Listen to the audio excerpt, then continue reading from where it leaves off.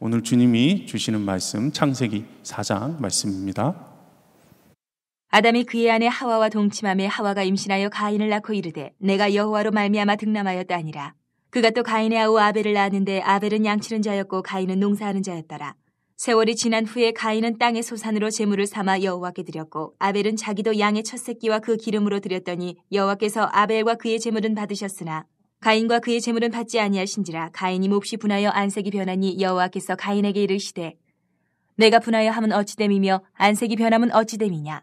내가 선을 행하면 어찌 낯을 들지 못하겠느냐? 선을 행하지 아니하면 죄가 문에 엎드려 있느니라. 죄가 너를 원하나 너는 죄를 다스릴지니라. 가인이 그의 아우 아벨에게 말하고 그들이 들에 있을 때에 가인이 그의 아우 아벨을 쳐 죽이니라. 여호와께서 가인에게 이르시되 내 아우 아벨이 어디 있느냐? 그가 이르되 내가 알지 못하나이다. 내가 내 아우를 지키는 자니이까 이르시되 내가 무엇을 하였느냐? 내 아우의 피소리가 땅에서부터 내게 호소하느니라. 땅이 그 입을 벌려 내 손에서부터 내 아우의 피를 받았은즉 내가 땅에서 저주를 받으리니 내가 밭을 갈아도 땅이 다시는 그 효력을 내게 주지 아니할 것이요. 너는 땅에서 피하며 유리하는 자가 되리라. 가인이 여호와께 아뢰되 내 죄짐을 지기가 너무 무거우니이다. 주께서 오늘 이 지면에서 나를 쫓아내시온즉 내가 주의 낯을 배웁지 못하리니 내가 땅에서 피하며 유리하는 자가 될지라 무릇 나를 만나는 자마다 나를 죽이겠나이다. 여호와께서 그에게 이르시되 그렇지 아니하다. 가인을 죽이는 자는 벌을 7배나 받으리라 하시고 가인에게 표를 주사 그를 만나는 모든 사람에게서 죽임을 면하게 하시니라. 가인이 여호와 앞을 떠나서 에덴 동쪽 롯 땅에 거주하더니 아내와 동침함에 그가 임신하여 에녹을 낳은지라. 가인이 성을 쌓고 그의 아들의 이름으로 성을 이름하여 에녹이라 하니라. 에녹이 이랏을 낳고 이랏은 무후야일을 낳고 무후야일은 무드사일을 낳고 무드사일은 라멕을 낳았더라. 라멕이 두 아내를 맞이하였으니 하나의 이름은 아다요 하나의 이름은 실라였더라. 아다는 야발을 낳았으니 그는 장막에 거주하며 가축을 치는 자의 조상이 되었고 그의 아우의 이름은 유발이니 그는 수금과 퉁소를 잡는 모든 자의 조상이 되었으며 실라는 두발 가인을 낳았으니 그는 구리와 새로 여러 가지 기구를 만드는 자요 두발 가인의 누이는 나아마였더라. 라멕이 아내들에게 이르되 아다와 실라여 내 목소리를 들으라 라멕의 아내들이여 내 말을 들으라 나의 상처로 말미암아 내가 사람을 죽였고 나의 상함으로 말미암아 소년을 죽였도다. 가인을 위하여는 벌이 7배일진데 라멕을 위하여는 벌이 77배이로다 하였더라. 아담이 다시 자기 아내와 동침함에 그가 아들을 낳아 그의 이름을 셋이라 하였으니 이는 하나님이 내게 가인이 죽인 아벨 대신에 다른 씨를 주셨다함이며 셋도 아들을 낳고 그의 이름을 에노스라 하였으며 그때의 사람들이 비로소 여호와의 이름을 불렀더라. 아멘. 하나님의 말씀입니다. 아, 시간이 얼마나 흘렀을까요? 말씀이 진행되면서 계속해서 우리가 주목해 보아야 하는 것은 하나님과 사람 사이의 거리가 점점 더 멀어지고 있다는 것입니다. 에덴 동산을 떠난 아담과 하와는 양을 치고 농사를 지으면서 살았던 것으로 보입니다. 아담이 그 아내 하와 동침하여 아이를 낳았는데 하나님을 떠난 상태에서 에덴 동산에서 쫓겨난 상태에서 나온 첫 사람의 이야기인 것이죠. 그들의 이야기가 어, 처음부터 예배의 이야기로 그렇게 시작됩니다. 창세기 2장의 말씀에서 하나님께서 명령하신 대로 그들은 안식일을 지키고 예배를 드렸던 그 예배하는 삶을 살았던 것으로 보입니다. 완전히 하나님께서 떠난 사람이었지만 하나님은 예배를 통해서 계속해서 그들을 만나 주셨고 하나님의 보호하심 가운데 그래도 그의 은혜 안에 살았던 것으로 보입니다. 그러나 예배가 다 같은 예배가 아니었던 것 같습니다. 하나님은 아벨의 제사는 받으시고 가인의 제사는 받지 않으십니다. 3, 4절 말씀입니다. 세월이 지난 후에 가인은 땅의 소산으로 제물을 삼아 예, 여호와께 드렸고 아벨은 자기도 양의 첫 새끼와 그 기름으로 드렸더니 여호와께서 아벨과 그의 제물은 받으셨으나 어, 가인의 예배와 아벨의 예배는 아마도 큰 차이가 있었던 것으로 보입니다. 가인은 땅의 소산으로 제물을 삼아 드렸다고 하면 반면에 아벨의 예배는 첫 양의 새끼를 그리고 그 기름으로 예배한 것으로 보여서 아, 아벨은 아마도 그 예배에 희생 제물을 어, 주 앞에 드렸고 가인은 마음이 없는 희생 제물이 없는 예배를 드렸던 것으로 보입니다. 이 안식일을 거룩하게 지키라는 관점에서 보자면 아벨은 아마도 거룩한 마음 즉 자신의 마음과 그 재물을 그 시간을 구별하여 드렸던 예배로 보이고 그리고 가인은 그렇지 않았던 예배를 구별함 없이 드렸던 예배로 그렇게 보인다는 것입니다. 아, 성경에서는 아벨은 가인보다 믿음으로 더 나은 제사를 드렸다 그렇게 표현을 합니다. 여러분은 아벨의 예배를 드리는 자입니까? 아니면 가인의 예배를 드리는 자입니까? 그것을 어떻게 알 수 있을까? 내 예배를 한번 점검해 보십시오. 삶의 열매를 통해서 그가 정말 예배하는 삶을 사는 것인가 아닌가가 드러나는 한 가지 특징이 있습니다. 아벨은 하나님을 예배하는 삶을 살았다면 가인은 어, 자기 자신을 예배하는 삶을 살았습니다. 이 자기를 예배하는 사람들의 특징이 있습니다. 그가 하나님을 예배하는지 자기 자신을 예배하고 있는지 특징 중에 하나는 뭐냐면 화가 많다는 겁니다. 화가. 하나님은 아벨의 제사만 받으셨고 이에 가인은 몹시 분하여서 안색이 변했다라고 말합니다. 5절 말씀을 보시면 가인과 그의 재물은 받지 아니하신지라 가인이 몹시 분하여 안색이 변하니 하나님께 예배했는데 그 결과에 따라서 안색이 바뀌고 하나님 앞에서 분노했다는 것입니다. 저희 아이들은 하루에도 수십 번 안색이 바뀝니다. 어, 어제 할머니네 집에 갔다가 이렇게 온 아이들을 만났는데 둘째가 저한테 그러는 거예요. 너 그 세뱃돈 받은 거 가지고 어디다 쓸거 했더니 둘째가 저한테 그러더라고요. 아빠, 이거 현질 해도 돼? 이렇게 하더라고요. 그게 뭐냐, 게임 아이템을 사겠다는 얘기거든요. 제가 그건 좀 안 될 것 같은데 안색이 확 바뀌더라고요. 하루에도 수십 번 안색이 바뀝니다. 이게 뭐냐면 자기가 이미 원하는 결과가 있는 것이죠. 원하는 대답이 있습니다. 원하는 응답이 있습니다. 자기가 원하는 것을 가지고 와서 요구를 했는데 자기 마음대로 되지 않을 때, 자기 뜻대로 되지 않을 때 안색이 바뀝니다. 여러분, 기도도 그렇고 예배도 그렇고 믿음도 그렇습니다. 안색이 변한다는 의미는 무엇이냐면 안색이 바뀌는 의미는 무엇이냐면 지금 나를 위한 예배를 드리고 있다는 것에 대한 증거입니다. 하나님은 그 나체의 그 영광이 바뀌지 않으시는 분이십니다. 우리는 우리 삶의 기도의 응답의 결과를 정해놓고 주님 앞에 드릴 때에 그 기도의 응답이 되지 않을 때, 내 뜻대로 되지 않을 때 분노가 나고 화가 나는 것이고 마지막에는 그 원망이 결국에는 하나님께로 향하게 돼 있다는 것입니다. 아, 교회에서 예배를 드릴 때 성도들을 만날 때도 안색이 바뀌는 경우를 굉장히 많이 경험하게 되기도 합니다. 예배를 드리러 들어올 때 예배 맨 앞자리에 앉아가지고 또는 그 옆으로 좀 앉아서 아, 오늘은 좀 기분이 안 좋으니까 나는 한 저쯤에 앉겠다. 그래서 기도를 하려고 자리를 잡았는데 안내위원이 와서 자리를 좀 옮겨주세요. 안색이 바뀝니다. 예배를 충만하게 드리고 집에 갈 때도 마찬가지입니다. 주차장에서 차가 안 빠질 때, 누군가 경적을 울릴 때 안색이 변합니다.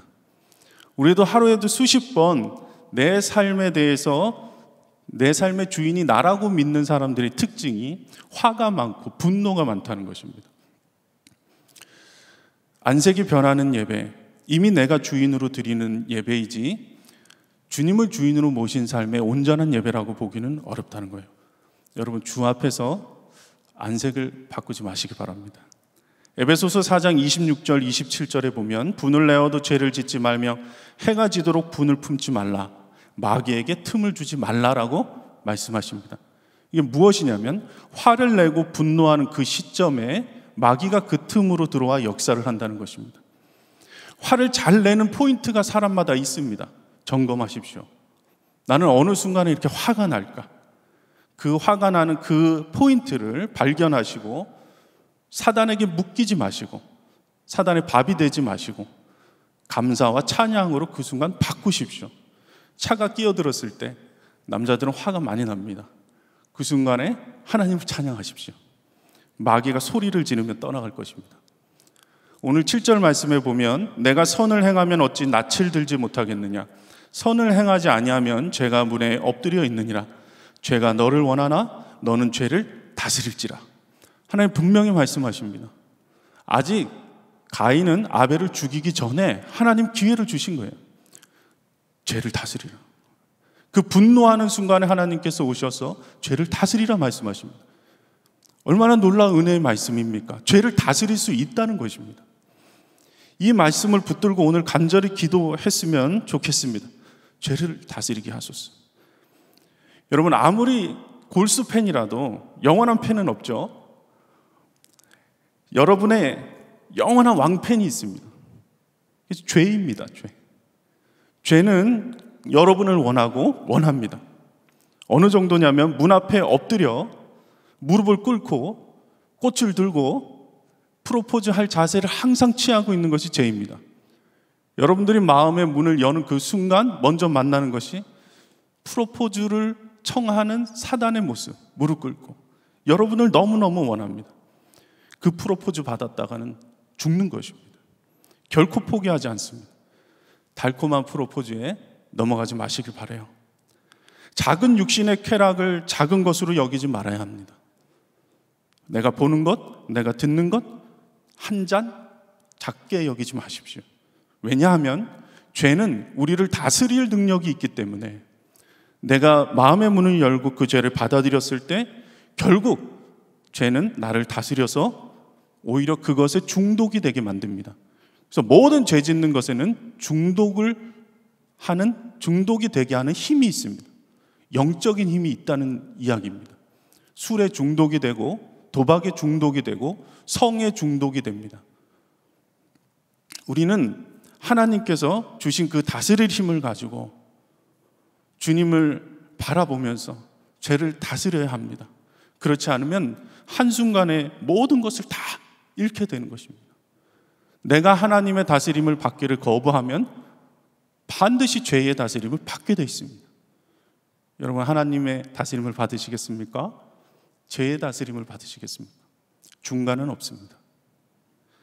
죄를 다스리지 못하면 결국 죽음으로 향해 그렇게 가게 되는 것입니다. 8절 말씀. 가인이 그의 아우 아벨에게 말하고 그들이 들에 있을 때에 가인이 그의 아우 아벨을 쳐 죽이니라. 죄의 삭은 결국 사망으로까지 가게 합니다. 작은 죄의 허용이 죽음으로 가게 합니다. 이 죄로 인해서 하나님의 보호하심에서 벗어난 가인에게 두려움이 몰려오기 시작합니다. 14절 말씀. 주께서 오늘 이 지면에서 나를 쫓아내시온즉 내가 주의 낯을 배웁지 못하리니 내가 땅에서 피하며 유리하는 자가 될지라 물은 나를 만나는 자마다 나를 죽이겠나이다. 죽이고 나면 모든 것이 다 해결되고 마음이 시원할 것 같은데 오히려 모든 사람들 하나님께서 주신 그 형제 자매들이 다 원수가 돼서 나를 죽일 것 같은 두려움에 휩싸입니다. 가인이 첫 인류라고 했지만 아마도 이때 많은 사람들이 있었을 것으로 해석을 합니다. 그 사람들이 나를 죽일 것 같은 거예요. 죄는 그를 묵습니다. 하나님이 주시는 마음 두려워하는 마음 아니라 그랬는데 하나님이 주시지 않은 이 마음을 잔뜩 가지고 가인은 이제부터 살아가야 하는 것입니다. 얼마나 안타깝고 얼마나 슬픈 일입니까? 그러나 하나님은 그 와중에서도 포기할 수 없는 하나님의 사랑으로 그를 사랑하는 것을 멈추지 않습니다. 아담과 하와를 가죽 옷을 입히셨던 것처럼 그 떠나가는 가인에게 하나님의 증표를 주셔서 그를 보호하십니다. 주님의 사랑은 방식만 바뀔 뿐이지 변함은 없습니다. 15절에 여호와께서 그에게 이르시되 그렇지 아니하다. 가인을 죽이는 자는 벌을 7배나 받으리라 하시고 가인에게 표를 주사 그를 만나는 모든 사람들에게 죽음을 죽임을 면하게 하시니라. 이렇게 죽음을 또 넘게 하십니다. 6월절 어린 양의 보혈의 능력입니다. 사망을 넘게 하십니다. 그러나 이제 가인은 그날부터 혼자가 됩니다. 고와 같은 삶을 살아야 하는 거예요.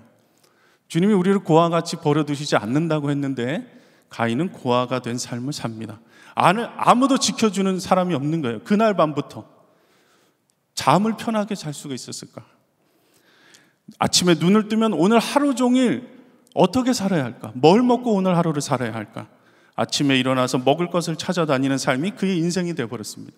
경작하고 다스리는 그의 미션은 다 사라졌고 오직 자신의 안위와 자신의 먹고 사는 문제를 인해서 자신의 모든 힘을 다 써야 하는 삶을 살기 시작하는 거예요. 16절 가인이 여호와 앞을 떠나서 에덴 동쪽 노에 거주하더니 17절 말씀 아내와 동침함에 그가 임신하여 에녹을 낳은지라 가인이 성을 쌓고 그의 아들의 이름으로 성의 이름을 에녹이라 하였더라. 그 성의 이름을 이제 에녹으로 쌓습니다. 아, 그가 성을 쌓는다는 의미는 그 자신을 보호하기 위해서 그 결과물로 성을 이제 쌓을 수밖에 없는 거예요. 누가 나를 해하지 않는 어떤 보호막을 만드는 것이죠. 하나님이 성전이 되시고 하나님이 그를 보호하시는 그 보호하심에서 떠난 사람들의 특징이 무엇이냐면 자기를 더 많이 강화하고 자기를 보호할 수 있는 것들을 만드는 데 관심이 많습니다. 하나님을 떠난 사람들.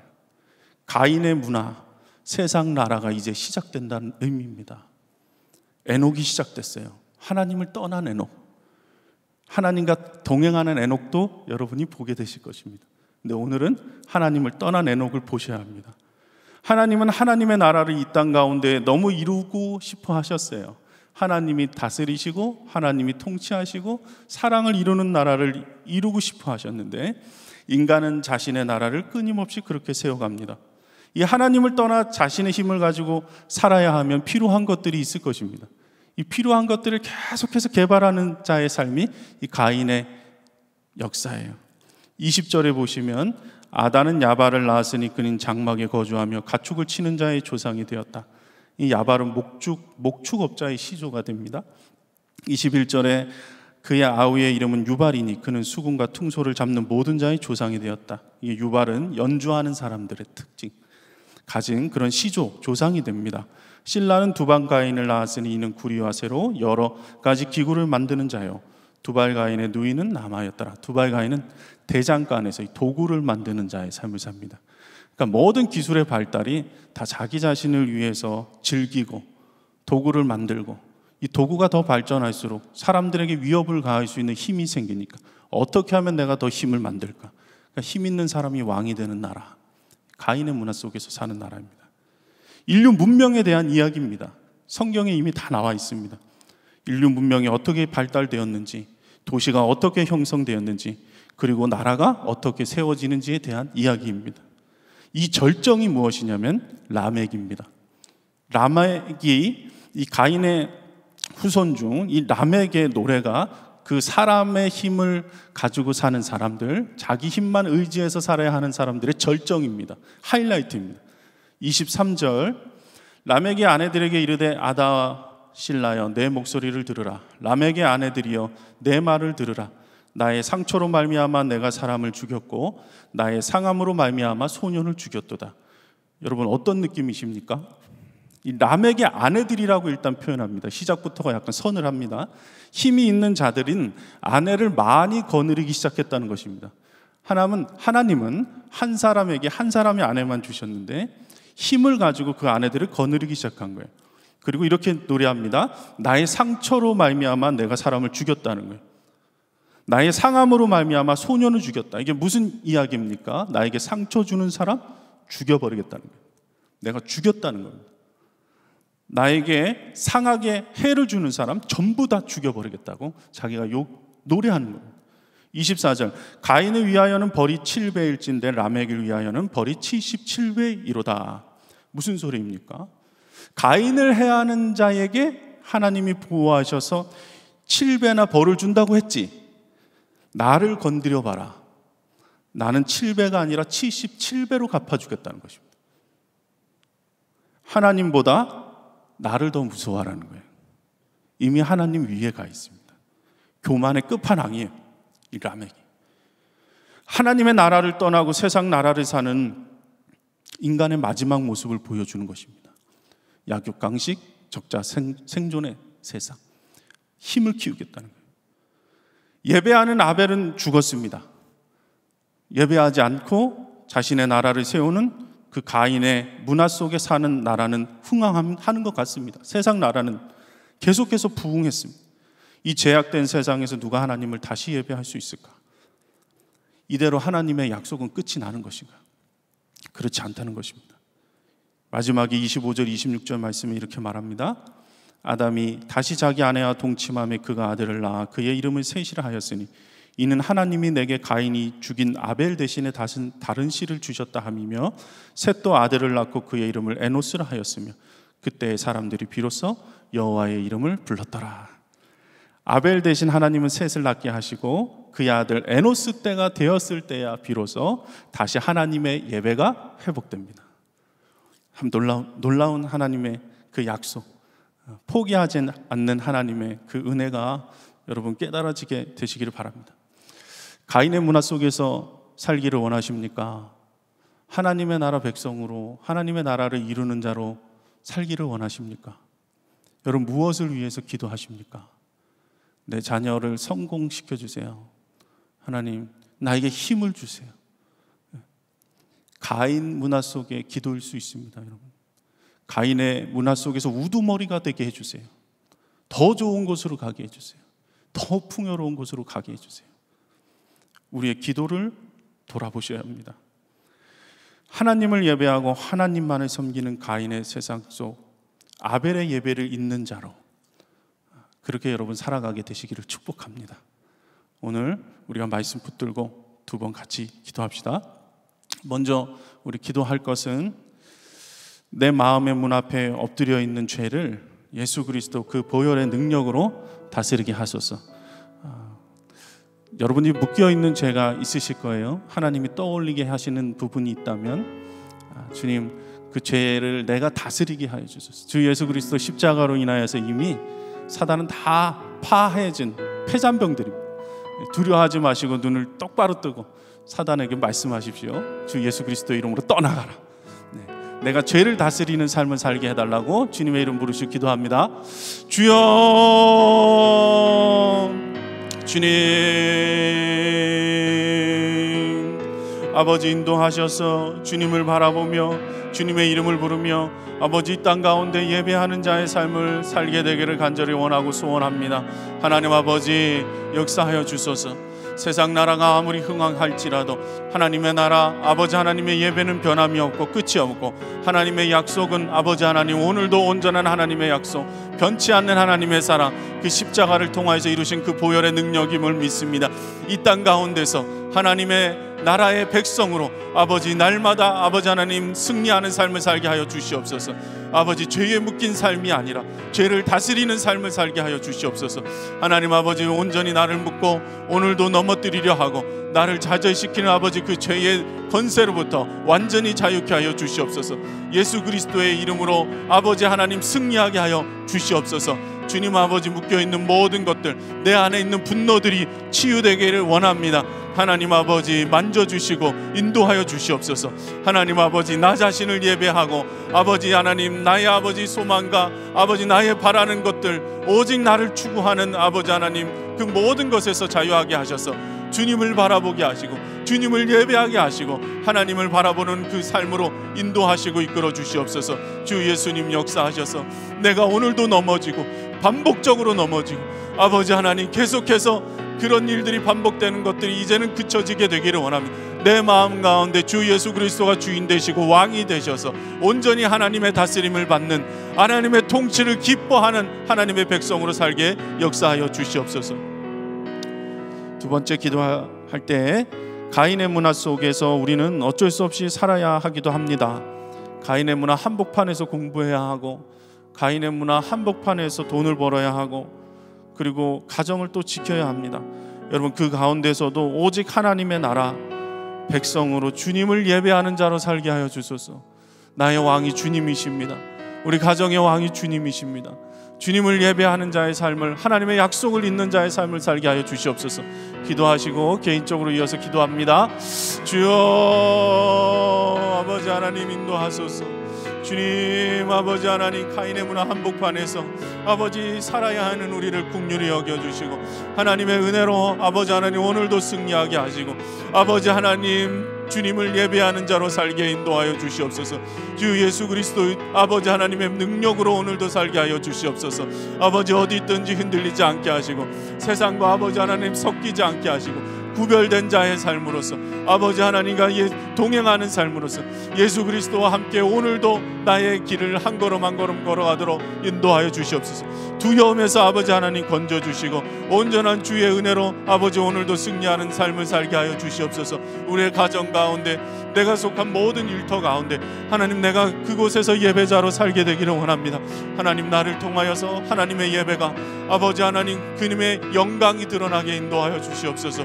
아버지 모든 삶을 통하여서 하나님의 은혜가 흘러가서 아버지 하나님 복음이 전하되고 사랑이 전하되고 하나님의 나라가 이 땅 가운데 이루어지는 놀라운 일이 있게 하여 주시옵소서.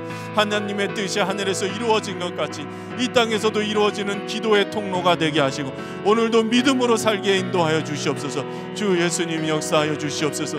하나님을 떠난 에녹 아버지 하나님을 떠난 가인 아버지 하나님 국률이 여기셔서 다시 주님 앞에 돌아오게 하시고 회개함으로 주님께 돌이키게 하시고 온전히 주님께서 주시는 힘을 가지고 그 능력을 가지고 대를 다스리게 하시고 성령 충만함으로 아버지 오늘도 살게 역사하여 주시옵소서. 주님 인도하여 주소서. 이미 다 이긴 싸움 가운데 믿음으로 승리하게 인도하여 주시옵소서